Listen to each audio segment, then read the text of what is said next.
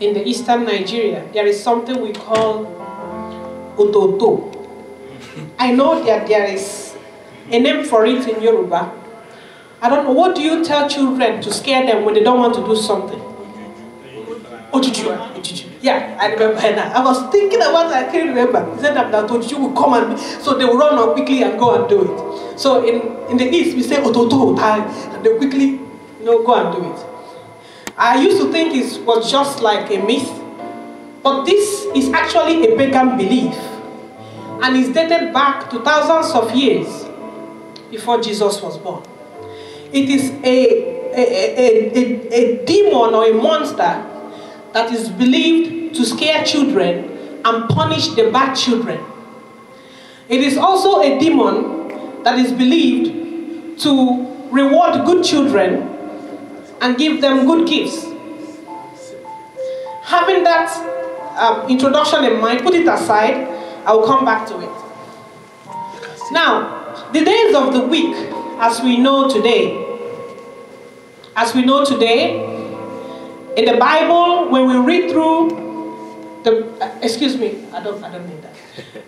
When we read through the Bible, we will discover that the days of the week, as we know today, is not how it has been. If we flip from Genesis, you know, through the history, we will notice that the Bible will say, on the first day of the second year of King this, on the third day of this, and how the Israelites and other nations were naming the days were the first to the seventh day that, you know, characterized the week, and then the 30 days that characterized the month.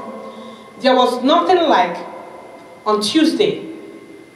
All these in these new versions of the Bible came after the amalgamation of Christianity with paganism. So, 300 years after Jesus was born, Christianity merged with paganism. And amidst several gods that were worshipped in the pagan world, they had seven strong gods that they could not part with. Many of us know these gods. We have the sun god, we have Mon, we have Tu, we have Wen, we have Thurs, we have Fry, and we have Saturn.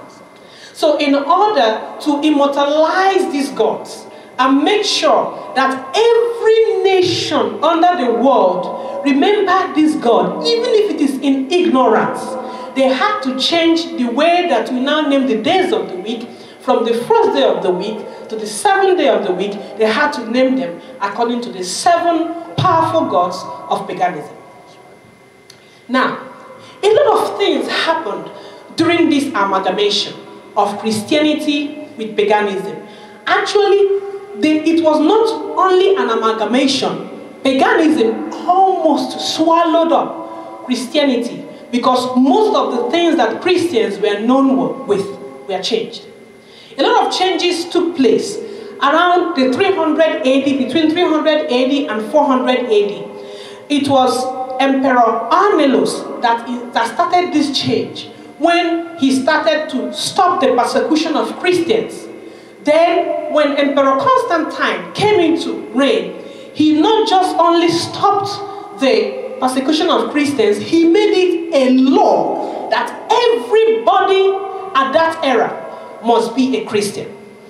There were so few Christians and there were so many pagans.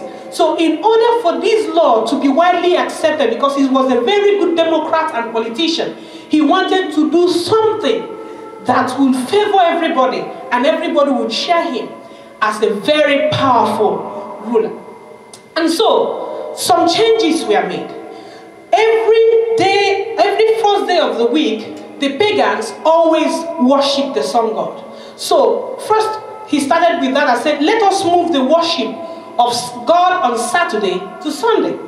Now, remember that at that time it was no long, it was not yet Saturday. It was still the seventh day. So let us move it from uh, the worship of God from the seventh day to the first day. Every pagan wakes up and goes to worship the sun god on Sunday. So since we're already used to it, and I, Emperor Constantine, also go to worship this sun god, I'm used to doing this every first day of the week. Instead of going to worship the sun god, let us go and worship Jesus on that day. Making us to have to go to church on the seventh day will disorganize our schedules because we have already made the schedules of how we carry days of the week. And so this was widely accepted. But it was a few that said, no, this is not really it. And one of those few was St. Nicholas. I'll come back to St. Nicholas. During this amalgamation, a lot of changes were made. There was the worship of the Queen of Heaven. This Queen of Heaven, because they couldn't just drop this worship, they changed the worship of the Queen of Heaven to the worship of Mary, the mother of Jesus Christ. Now, pagans were used to bowing down to idols. You can't just remove this because this was a practice. And so, instead of removing this, which would be strange to what they have known, the Emperor Constantine and other people and other politicians said, let us bring in the idols, make us make idols of St. Paul and, you know, all the apostles. They put all the apostles, they put their images and build them into idols inside the church. And then they put Jesus Christ, they made a, an image of Jesus Christ to be at the altar. So that when you come in and you're bowing down to the image of Jesus or to the image of any of the apostles, you will not feel as if you're practicing paganism. But the Bible says, Thou shalt not make unto thee any graven image. And it went on to say, either in the likeness of anything on earth or in heaven.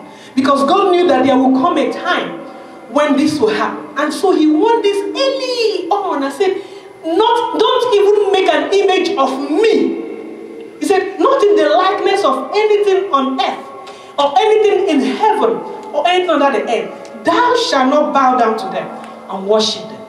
So, the early Christians knew this law in the Ten Commandments, and they said that we will not bow down to this. This is again, even if it is St. Paul, even if it is Jesus Christ, the Bible says, Thou shalt not make unto thyself any graven image. A lot of things came up in the amalgamation, and there were many ways of celebrating these gods, but there was one special God that had the celebration of this God took several days at the end of the year. And the last day of celebration of this God ended on the 25th day of the 12th month of every year. This God was known as Saturn. Saturn had this celebration that is known as Saturnalia. Saturnalia is a series of festivals done to hail Saturn. Saturn is the god of fertility. The god of fertility is something that is like he had the power. If he told the woman that they would not bear a child, then that woman will not bear a child. So they had to worship Saturn in a very special way to make sure that their women continue to bear children. In the celebration of Saturnalia, there were many days that were devoted to the celebration of Saturnalia. During these days, all the slaves were freed in the, in the pagan uh, religion. During these days, the slaves were freed to be able to have sexual satisfactions with their masters. Because during those days, they were no longer slaves. During these days, sexual satisfaction was really highly esteemed and you could have sex with anybody you want despite whatever because you are worshiping the God of fertility. Now, the person that gave birth, the mother of the God of fertility, the mother of Saturn, her name was Adonis. Adonis was believed to have died, but then changed and grew up as a tree. And having grown up as a tree that never dies, she was being signified as a green tree. My people, whenever you carry a Christmas tree, you are actually immortalizing Adonis Because a Christmas tree reminds you of Adonis. We don't all know this, and that is why I've chosen to remind us actually what is being celebrated. And I will go back to my real message today, which is the true spirit of Christmas. So, Adonis died, but it was believed that she came back to life as a tree. And she came back to life as a tree, as a green tree that never dies. That is why the green tree is being celebrated today. Now, instead of hailing and worshipping Adonis as the tree, since we're now amalgamating paganism with Christianity, we decided to change the name for Adonis to what? Christmas tree. That is not the end of what happened. Now, I started with the Ojuju and Ototo. During those days, during the celebration, you know, when you're doing a big festival, you have to take into consideration children and every age. One of the days during Saturnalia was devoted to giving toys to children. In those days, many people who were carvers carved out toys of animals, carved out toys of babies, carved out toys of houses. Different types of toys were carved out. And in one of the days during Saturnalia, that was the day for the Ototo to come and give toys to children who have been good to their parents. So, during the amalgamation of paganism with Christianity, they couldn't leave this vital aspect of Saturnalia. And so, since St. Nicholas was one of those that really stood against, remember this was happening 300 years later after Jesus was born.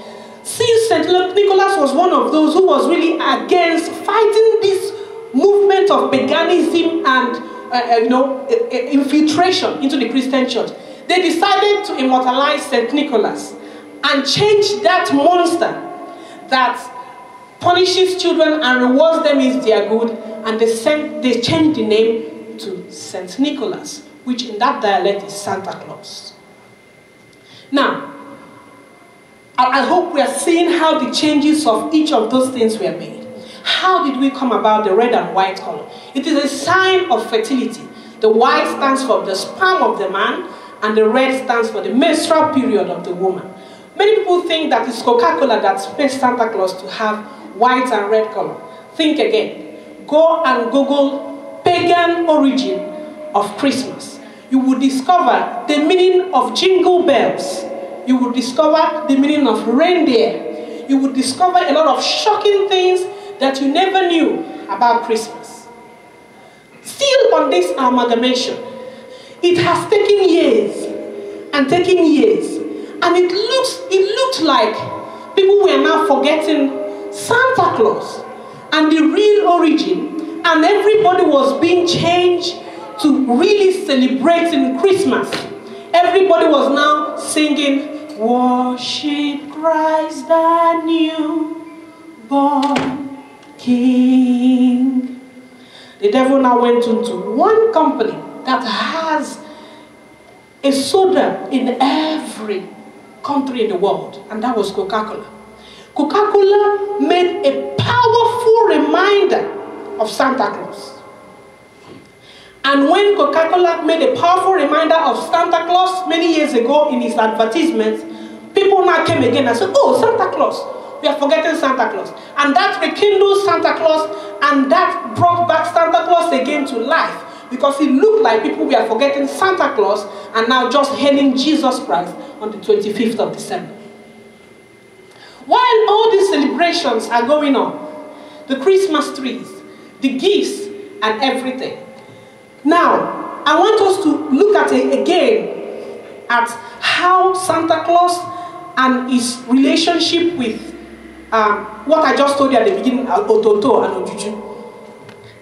There's a song that is being sung here. I know if I call my children, they will sing it. He said, You better watch out. You better watch out.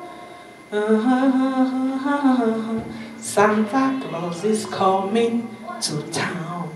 Now, Santa Claus is being taught, and that has been the belief that Santa Claus is omnipresent. And that's why, even in the song, he says, He sees you when you're sleeping, He knows when you're awake. In other words, no matter what you're doing, instead of God watching you, Santa Claus is watching you throughout the year so that if you have been a bad kid on the 25th of December, Santa Claus will not give you a gift. So, the omnipresent Santa Claus needs to push you to do good. You are not doing good because God said you should do good. You are doing good and you're scaring your children to remember that if they are not good, Santa Claus will not give them gift. This was brought in during Saturnalia and during the amalgamation of paganism with Christianity. They said, okay, how are we going to do this? Since we give gifts to the children, they said, okay, we are going to do it this way. We are going to change it from that monster. We are going to name him, name him Saint Nicholas. That way the church will not have a problem with it. We are going to give we are going to give children gifts.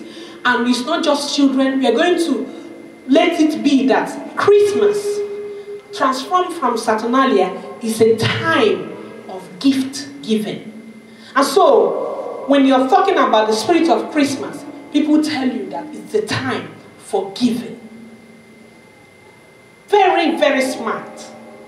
Giving. That giving came from the toys that were given to children during Saturnalia. And since they want to immortalize it, now everybody receives Christmas gifts. Why am I telling you this story? Or why am I reminding those who already know this story?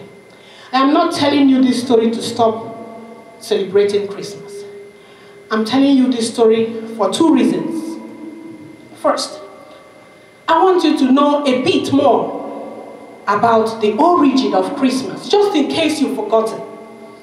Remember that it started as a pagan institution. Remember that when you are too much into the celebration of Christmas and all this, that you are actually promoting paganism. That is one. The second point, which is why I'm telling this story, is to draw you to the true meaning of Christmas. The true meaning of Christmas is found in John chapter 3, verse 16. For God so loved the world that he gave his what? Only begotten Son. That whosoever believes in him will not perish, but have everlasting life. As we are in this season of Christmas, as we are in this season of Christmas, exchanging gifts, receiving gifts, getting chocolates, getting different things for our kids, receiving cards and everything, I want us not to forget what is really the true spirit of Christmas. The true spirit of Christmas, which God wants us to uphold, is exemplified in John chapter 15, verse 14. And Jesus said, You are my friends. If what? If you do what I command you. So, going back to our text, which was found in John chapter 3, verse 16, it is not enough to say, I believe Jesus. He says that whoever believes in him should not perish but have everlasting life. It's more than that. I want to draw you back to that word, believes. Because there are two types of beliefs. There is a philosophical belief, which is what the devil has. The devil knows that there is God. The devil, of course, he has lived in heaven. So he knows and he believes in God, but it is not a loving belief. It is a factual belief. It is a philosophical belief. Then I want to draw you to the second type of belief, which is a loving belief. A belief that you have in someone, in a God, that pushes you to live out a life of love to Him. And the question is, like my daughter will always tell me how much she loves the Lord. The question is, if you really have a loving belief, what do you do? What you do is what Jesus answered and said in John chapter 15, verse 14 You are my friends if you do what I command you. And I like the way the Bible does it. So if you make a mistake, you wanted to go to 15, verse 14, and you made a mistake and went to John chapter 14, verse 15, he says, If you love me, keep my commandments. So both John chapter 15, verse 14, and 14, verse 15 are saying the same thing. Say, Yes, I know you believe in me. But do you have a loving belief? And if you do have a loving belief, if you love me, do what? Keep my commandments. Brothers and sisters, on this day, the 27th day of December 2014, I want to bring your attention again to the true spirit of Christmas. The true spirit of Christmas is to appreciate God and the gift He has given us by sending Jesus Christ to come and be born on earth and live here and die for us. We cannot please God by celebrations because God is not just a God of rituals. We can only please God by upholding the true spirit of Christmas, which is found in John chapter 14, verse 15, where he says, If you love me, keep